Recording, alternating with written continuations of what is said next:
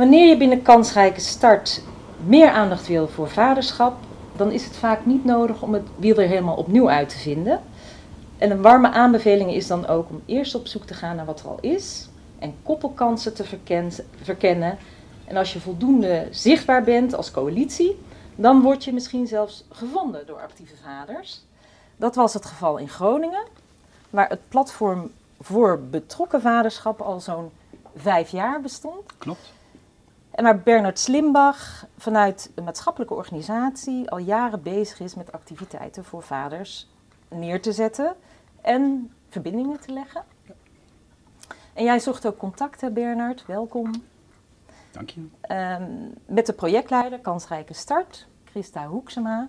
Als we het hebben over vaderschap in die eerste duizend dagen. Uh, ik stel me altijd zo voor, je hebt een bril op volgens mij waarbij je de hele dag ziet wat vaders, uh, uh, nou ja, hè, uh, hoe er met vaders wordt omgegaan. Um, jij zit ook eigenlijk op de plek waarop je dat ziet, hè, want jij hebt een, een netwerkorganisatie. Ja. Um, dat platform dat is er dus hè, sinds vijf jaar in Groningen. Kan je misschien mij wat vertellen over um, wat betekent dat nou voor vaders in Groningen dat dat platform er is? Een platform is eigenlijk een, uh, allerlei uh, uh, invalshoeken werken met vaders. Dus vanuit de kinderopvang, dienst, justitiële inrichtingen zitten bij vanuit het project, gezinsbenadering, detentie, hmm. vaders in detentie. Vaders die in de gevangenis ja. zitten, die toch nog hun vaderschap kunnen voortzetten. Ja, maar ook wij Groningen zitten erbij met systeemtherapeuten, met gezinshulpverleners. Er, zit, um, um, er zijn eigenlijk allerlei instanties, allerlei organisaties die wel iets met um, uh, vaders doen. Mm -hmm. En vaak hebben aangeklopt van wij willen de vaders wel betrekken en bereiken, maar we zien ze niet. En toen hebben we bij het platform Vaderschap uiteindelijk uh, iets anders opgericht, Primetime Papa Time. Dat is een, uh, een, een activiteitencombinatie um, uh, van de MJD, dat is onze welzijnsorganisatie, met een kinderopvangorganisatie en de laatste tijd met het Groningen Forum.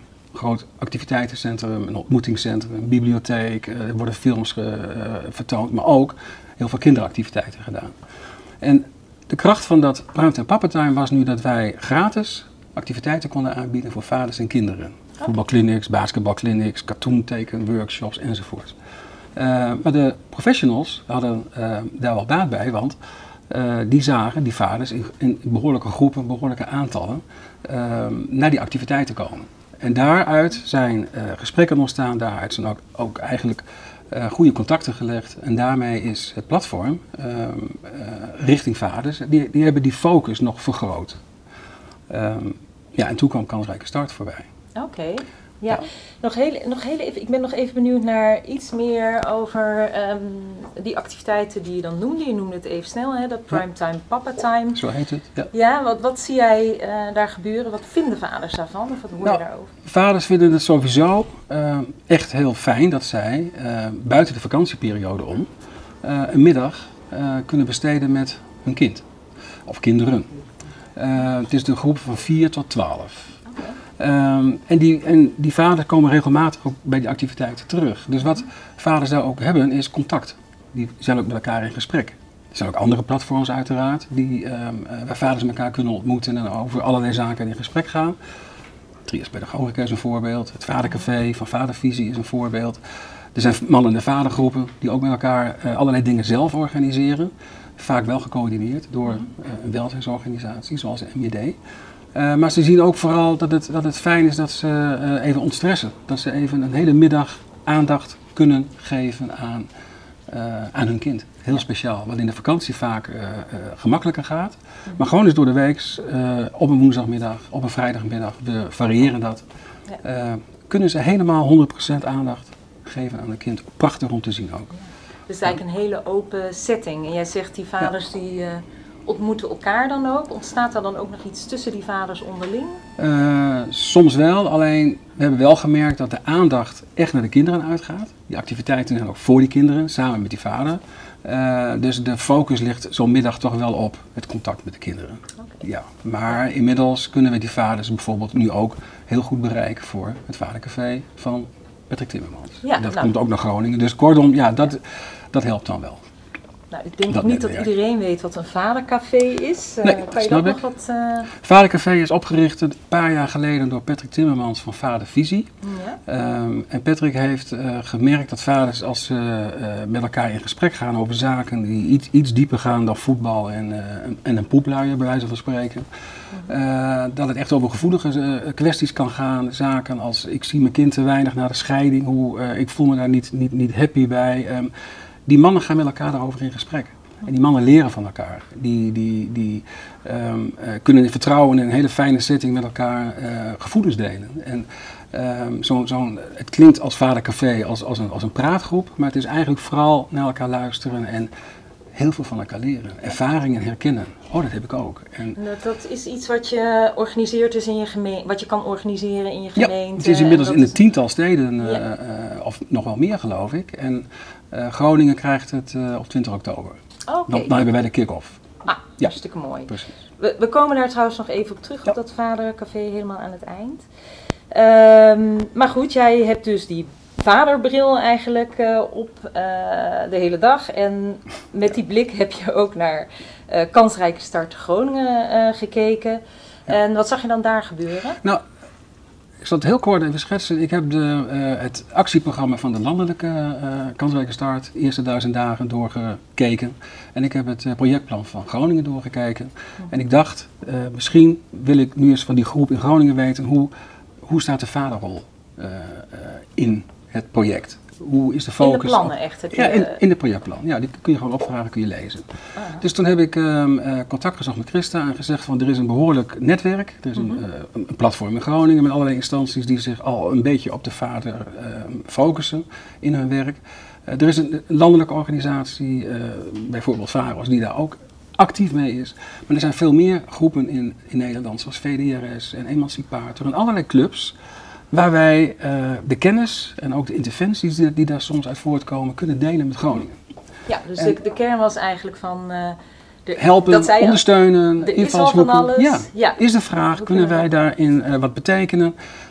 Kijk, en uiteraard is het dan ook zo dat in de opdracht staat dat eh, organisaties kritisch zelfonderzoek moeten doen in hun huidige aanpak naar eh gezinshulpverlening rondom kwetsbare kansarme gezinnen. Mhm. Ehm, en dan is het natuurlijk heel mooi als organisaties dan ook hun focus op de vader daarin bekijken en eventueel verbeteren of, of aanpassen. Dus dat was eigenlijk ook wel ehm, ehm, de reden waarom ik dacht van nou ja, daar moeten we nu met elkaar in op gaan trekken. Wat heeft dat dan eh, gebracht, Bernard? Want Nou, die spin-off, ehm, dat is eigenlijk vooral dat ik met Leonie eh, een paar hele goede gesprekken heb gehad over wat daar in Bijhem nu eh, eh, al plaatsvindt of eigenlijk opgestart wordt. ja, Ehm, en want daar ligt even de, daar ligt een, een lokaal projectplan eigenlijk hè, voor een een wijk stappenplan, aan- zeg maar. Ja, Ja. ja. mhm. En zeven of acht stappen uit mijn hoofd, volgens mij acht. En in die gesprekken met Leonie zijn we in ieder geval al gestart met één van die stappen. Om, ehm, ehm, En wat, wat is die dat, dat, dat zijn stappen richting eh, de benadering van eh, eh, jonge en aanstaande gezinnen. Die dus nog niet met hulpverlening eigenlijk echt in contact zijn. Dus vroegsignalering. Mhm. Dat, ehm, eh, dat gebeurt dan door niet professionals, maar goed opgeleide vrijwilligers, buddies. Eh, dus laagdrempelig, op basis van vertrouwen, vertrouwen krijgen met, met het gezin. Met, en dan vraaggericht, echt heel vraaggericht werken, wat, wat, wat is hier nodig? Mhm. Eh, dus als een van die stappen op een gegeven moment de vader is, dan kunnen we die vader iets aanbieden om hem te betrekken in die gesprekken en te kijken wat daar, eh, eh, waar zijn behoeftes liggen die, die eh, als vader, de vragen die hij heeft. Ja. Dus die primetime, pappatime activiteiten Mhm. kunnen we nu heel mooi aanbieden in dat stappenplan. Een- bijvoorbeeld een voetbal, voetbalkliniek krijgen ze als ze eh, daaraan mee gaan doen. En dit, Ehm, gaat, dit gaat eigenlijk ook over een, een echt een armoedeaanpak waarbij Nou. eh, de doorbraak hè, van de armoedeval eh, het doel is, hè, heb ik begrepen. Ja. Dus daar zitten ook de partners eigenlijk met name aan tafel die Ja. daar dus, En hè, die- die aanpak hebben ontwikkeld. En, en, en nu zijn er dus partners die al met projecten werken. Zoals eh, Armoede, Toekomst met Perspectief heet dat project. Mhm. Er is ook een project over gezondheid, beweging en voeding. Er zijn ook workshops als voorbeeld wat er nou gebeurt. Eh, er, er- zijn workshops voor eh, budgetkoken, gezond eten, voor moeders met kinderen. Ja. En met die projectleider heb ik ook gesproken. En die zeggen nu van dit gaan we ook voor vaders doen. We gaan ook koken met kinderen voor vaders. Vanuit die. eh, en al- alles wordt natuurlijk gratis aangeboden. Ja. Sportbeweging gebeurt ook op die manier. Uh, vaders kunnen meedoen met dat soort uh, um, ja, workshops, trainingen, et cetera. Dus we verbinden eigenlijk de groepen. De doelgroep wordt breder, maar het aanbod wordt ook breder. Ja. Heel veel interventies um, worden nu wat uitgewisseld. Oké. Dus eigenlijk, doordat jij daar uh, in contact bent gekomen, zijn ook die activiteiten voor vaders uh, in Mede. dat projectplan uh, gekomen. Nou ja, dat is dus nu wel de aanzet. Ja. Dat, we, dat die focus op vaders steeds um, ja, voorop staat. Okay. En ja, ik, ik, ik zie wel dat professionals daar ook steeds meer mee bezig zijn. De vaderrol. Hoe, hoe kunnen we die in ons werk ja, inbedden? Hoe kunnen we die aanpak okay. tot vaders ja. verbeteren?